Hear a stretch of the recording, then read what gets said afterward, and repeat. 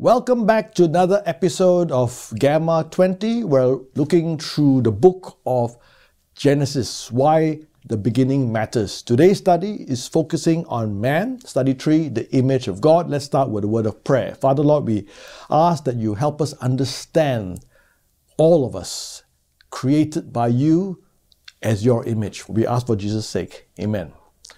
Right, so we've done we're focused in verses 1 and 2 on God and God, the creator of the world, and today, 27 to 31, mankind itself, right? So uh, let's recap. We've got purpose and design for the whole of creation. You've got the location, light, sky, water, and then the inhabitants, the sun of the, in the, in the and moon in the sky, flying, swimming creatures, animal, and man.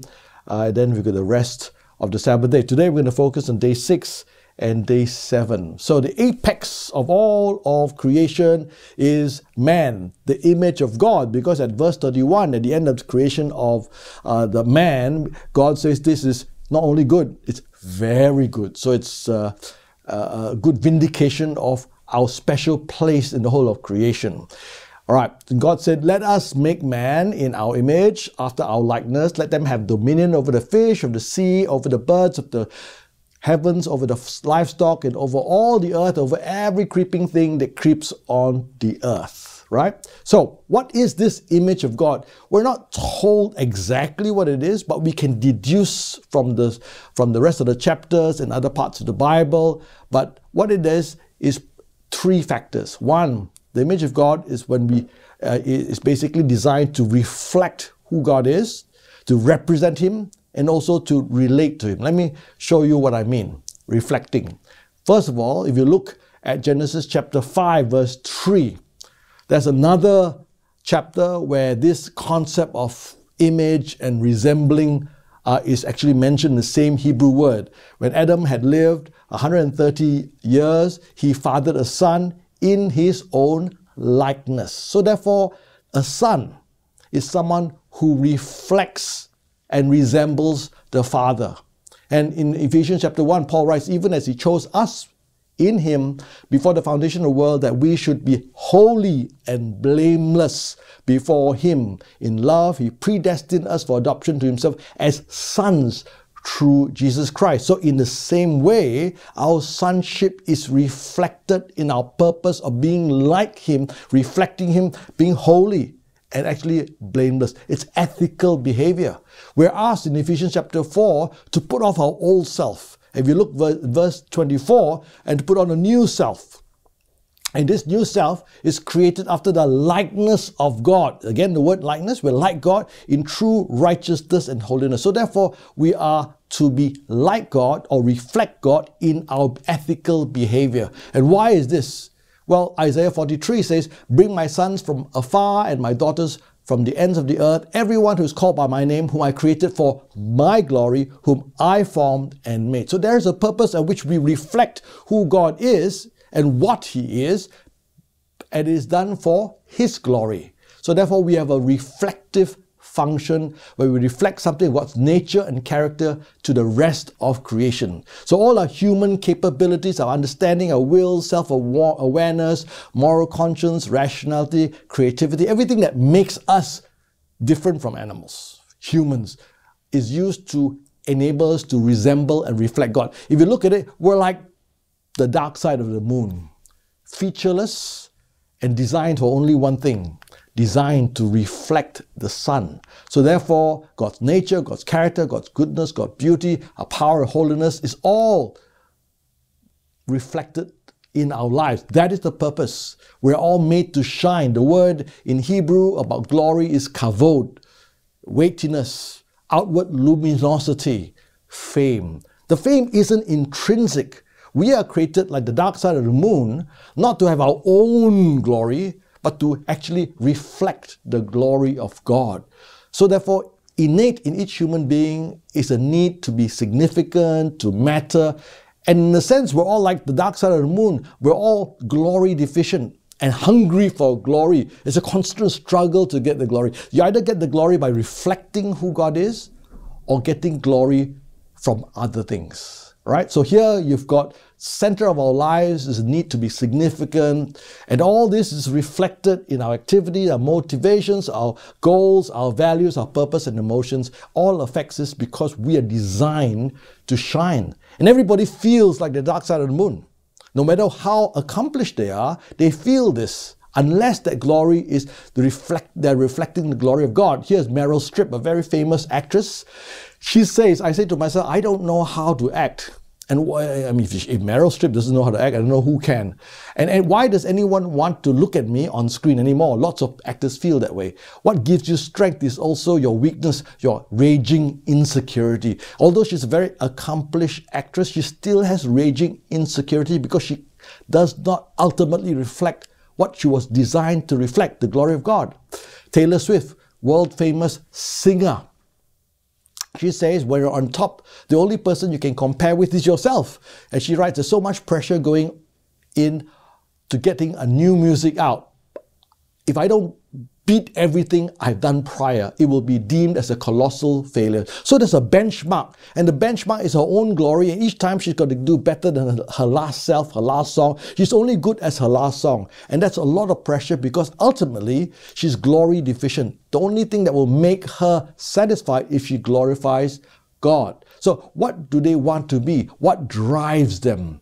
Now, the opposite of glory is humiliation. Scientists have showed humiliation is an intense emotional experience. You put uh, monitors and receptors in the brain and showed that humiliation is a potent emotional experience, all right, which is more negative and demands more cortical activation than any other negative emotion which are similar, whether it's anger or shame. Nothing is more doesn't uh, affects our brain more than humiliation, which is the opposite of glory. It is a loss of glory.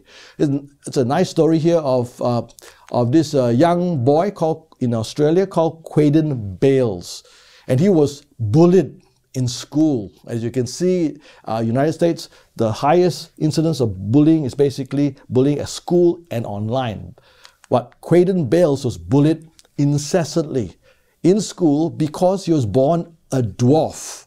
And on multiple occasions, he tried as this young boy tried to kill himself simply because he was deemed worthless and glory deficient. A video of him crying and shouting and wanting to be uh, to, to, to, to end his own life came out on the YouTube and people responded. A local football team actually put their t-shirt on him, footy, and then he walked out to the stadium with all the tall men who were all glorious football players, and he was part of the team. And that actually lifted his sense of self esteem because he actually tagged on to their glory. Their glory was reflected on him. So he didn't quite feel so bad. He can reflect their glory. This is Hugh Jackman. And he, Hugh Jackman wrote to Quaden Bayles and said, You are stronger than you think. No matter what happens, I am your friend, which means the Wolverine is your friend. So here, glory is reflected from another person, right? So if you can't be Brad Pitt, you can buy his watch and have some of his glory, right? Uh, you can join American uh, Idol, you can win prizes, have medals for bravery, or do brave feats and put your head in the mouth of a crocodile or, or run with bulls. All these are an attempt that we could generate glory for ourselves because we're glory division. If you look in the business world, people who are glory division are always looking at other people with a transactional view. use other people for your own glory, whether they're employees or partners. And this is terrible because Jesus said to the Pharisees, how can you believe when you receive glory from one another and do not seek the glory that comes from only God? And so they, they were so focused on getting their own glory from each other that they missed the glory that comes from God, which of which they were actually originally designed to have. And that's what man does. We look inward, a whole bunch of idols, and they look to create these idols, and they worship the very idols they create to give themselves glory and they become what we they worship because psalm 115 7 8 says they have hands describing the idols they do not feel feet but do not walk they don't make sound in their throat those who make them become like them and so do all who trust in them That is the fate of sinful mankind. Now, gender is also used to reflect God's glory. God created man in his own image. Image God, he created them. Male and female constitute God's image. And so we have a situation where we actually, this is God's glory, a male and female, perfectly in harmony with all different psychology, different gifts and proclivities, working together as unit. And this unit is used to reflect the love of God, Christ with the church. It's a perfect image of which we're striving towards, and you need two different genders in it. But often because of sin, we have competition, we have disruption, uh, the, the abuse of women uh, to be subjugated because men are stronger, or we actually blur the difference between male and female. And we now declare that there's no gender, or we can change gender. In Ohio court in 2018, the parents actually lost custody of their transgender teen. This is Nicola on this side and they, the, the court actually awarded her custody to the grandparents who allowed her to undergo sex change operation. There are four stages the social stage, then they give you drugs for, to block puberty, and then you get hormones, which is the hormones which are opposite to your gender, and then final step you have gender reassignment surgery. And this is not uncommon. Further than that, you've got today gender non-binary, which means a whole bunch of people in the world are now saying that we don't want to be identified as either male or female. We have no binary. A whole bunch of vocabulary has come out. The non-binary umbrella are gender queer, gender fluid, bi gender, pan gender, It goes on and on and on. One of the most famous uh, actresses uh, is Ellen Page, and what she has done is that she's actually transitioned from a woman into a Elliot Page, and she suddenly says, I'm fully who I am. Now, this, this idea creates a disconnect between how individuals think and feel and who they actually are right? So they don't consider their physical genetic makeup as part of who they are because they're driven by who they feel they are. All right? So we are integrated wholes. We're not simply our own bodies, minds, or emotions. We're embodied souls. We live in a world where we're broken, but we're beautiful. And we need to, and because of sin, we struggle for all this. So therefore, there's really no need to say to God, I don't believe any gender. I don't believe in the image of God. So this is an assault on our beliefs and our relationship with God.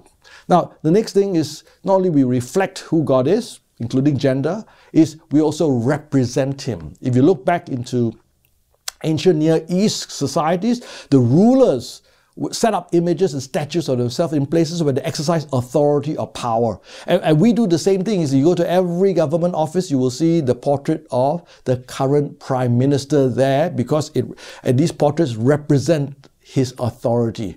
The statues and reliefs of these uh, kings uh, were actually a meeting place between the supernatural world and the current world. And, and, and Genesis 9 6, it says, Whoever sheds the blood of man, by man shall his blood be shed, for God made man in his own image. You cannot murder another human being, not because it's not a nice thing to do, but it's because the other human being is made in God's image. It's like diplomatic immunity. You can't touch somebody who belongs to the diplomatic corps of another country because touching him is like touching the entire nation. Right? Now, then there's dominion. Then God said, Let us make man in our image, after our image, our likeness, and let them have dominion over the fish of the sea, uh, birds, livestock, and everything else. What is dominion? All right, how do you exercise dominion? Well, in the next uh, line, God blessed them, and God said to them, Be fruitful and multiply and fill the earth and subdue and have dominion. So, how we, we exercise dominion is actually procreation, going all over the world, dividing, having children. Now, look at uh, verse uh, chapter uh, Psalm 8, verses 3 to 4, which looks at the dignity of man. When I look at your heavens, the work of your stars, the moon and the stars which you set in place. What is man that you're mindful of him? Or the Son of Man that you care for? This actually applies to human beings. What is man that you're actually thinking of him? What is the Son of Man that you care for him? Yet you have made him a little lower than heavenly beings, and you crowned him with honor and glory. You have given him dominion over the whole the works of your hand, you put all things under his feet, all sheep, oxen, and also beasts of the field. Psalm 8 actually copies Genesis. Right? So we are actually given dominion over all of creation. Now, if you look at that particular psalm, and then you go back to Hebrews chapter 2, verse 6, and it says, It's been testified somewhere, what is man that you are mindful of him, or the Son of Man that you care for him? You made him a little lower than angels. Doesn't this look familiar? Hebrews actually repeats Psalm 8, but he repeats it. Psalm 8 original context applies to man, but in, but in Hebrews he applies this psalm to Jesus, now putting everything in subjection to him. He left nothing outside his control. At present, we do not yet see everything in subjection to him, but we see him who for a little while was made a little lower than angels, namely Jesus, crowned with glory and honor because of the suffering of death, so that the, by the grace of God he might taste death for everyone. So, what he's saying is basically the purpose of mankind was to represent God and have dominion over the whole of creation. Sin came into the picture, and we were not able to fulfill our purpose in the manner which we were designed. And Jesus comes in as the true image of God, the true Israel, and through Jesus, we will finally achieve our purpose to be the image of God through the perfect person, Jesus. So the first commission is to have dominion over the fish, to see the whole world by the first Adam, and the second Adam is the one that truly fulfills it by the gospel being shared and discipling the entire world. Last uh, uh, is basically the image God as relationship. All right? Here you have um, Paul telling the Athenians that God created man, one man out of every nation, to live in the face of earth, having determined allotted periods and boundaries of their dwelling place, that they should seek Him and perhaps feel their way towards Him and find Him. He's actually not far from each of us, for in him we live and move and have our being. So we're talking about man created not only to, to, to reflect God, to represent God, but to also relate to him, that they should seek him. And, and basically here we have got a, a, singular and plural. God says singular, and let us make God in our image, in our likeness. All right, so we actually have right in the beginning in Genesis the, the idea, the concept of the triune God. We've got the God the Father, the Son, and the Holy Spirit all related in perfect love for one another. So therefore, the primary characteristic of God is actually love. If you are a singular God, and you decided to create something else, then basically love is a secondary characteristic. A triune God means right from the beginning, love was there, love is the character of, who this God is. So, therefore, out of this love, you actually have creation of mankind. And so, therefore, we actually are, are made to relate. Love comes first. God's aim in creation is to give Himself, His very self, is found in giving. He seeks to share himself, express himself in all goodness. So, the climax let us make man in our own image after our likeness. And he says, it was very good. Right? Now, philosopher Jean Paul Sartre talks about meaning. He says life is absurd, but you can produce your own meaning like loving others. Here is a man who does not believe in God, and what he's saying is that, well, I don't really believe in the image of God. I will just create my own meaning, and I decided, oh, loving people is the most important thing. But he's actually pretending there's meaning and fooling himself, right? Now, look at the apex of creation. Now we've got to come to the last bit, which is the climax of creation. And the heavens and earth were finished, all the hosts of them. And on the seventh day, this chapter 2, God finished his work that he had done, and he rested on the seventh day from all his work that he had done. So God blessed the seventh day and made it holy because on it God rested from his work that he had done in creation. So this seventh day is actually the rest, not because God is so tired, but a rest of achievement, not inactivity, for he nurtures what he creates, he continues to nurture. God delights in his creation and enjoys the benefit of a finished achievement, which means it's like renovating your house. You spend all this time renovating your house. At the end of it, it's all built up. You're sitting back there with your cup of coffee and enjoying the extension, enjoying your big screen TV, and that is the picture cast. All right, and you remember Genesis is written to from Moses to Israel, and they have a seven-day work week, and it's recast as that. If you look at Exodus 20, what we're trying to do is parallel man with God. Remember the Sabbath day to keep it holy. Six days you will labor and do all your work, but on the seventh day is a Sabbath to the Lord your God. On it you shall do not do any work. Why is this done? Why? The reason is given in, in, in verse 11 For in six days God made heaven and earth and the sea and all that is in there and rested on the seventh day. So therefore God blessed the Sabbath day and made this holy. The Sabbath is instituted to parallel man with God. The meaning of Sabbath is this is uh, Abraham Joshua Heschel, which is a Jewish uh, theologian. He says the meaning of Sabbath is celebrate time rather than space. Celebrate the Creator, not the creation. And so therefore, when we actually celebrate Sabbath, right, what we're doing is that moving from celebrating things, possession, and rules, we actually, the Sabbath help us refocus on God and the image of God, which is basically man. Right? Jesus in the Gospels was caught healing people, breaking the Jewish Sabbath. He healed the man with the withered hand, Matthew 12. He healed the invalid of 38 years in John chapter 5. And he says it's lawful to do good on the Sabbath because the Sabbath was made for the benefit of man. So Sabbath is something that we, we, we move from possessions, we move to, to celebrating everything for the benefit of God and fellow man. Now, that's why God says, Jesus says to the disciples, Come to be all ye who are heavy laden, I will give you rest. Take my yoke upon uh, take my yoke and learn from me, for I'm gentle and lowly in heart, and you will find rest for your soul. So, therefore, this concept of rest, after six days of hard work, you rest. Jesus says, in Him you have this rest.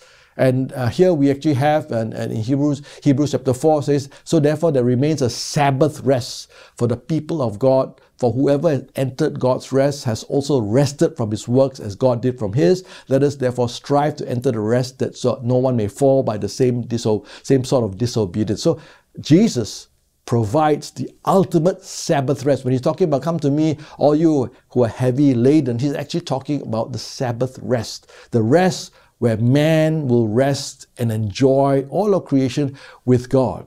Now, we looked at this chart before. What we actually have is God giving us pictures that we understand in human reality, which gives us an idea of what the spiritual reality is. And here you actually have the Sabbath day given to us.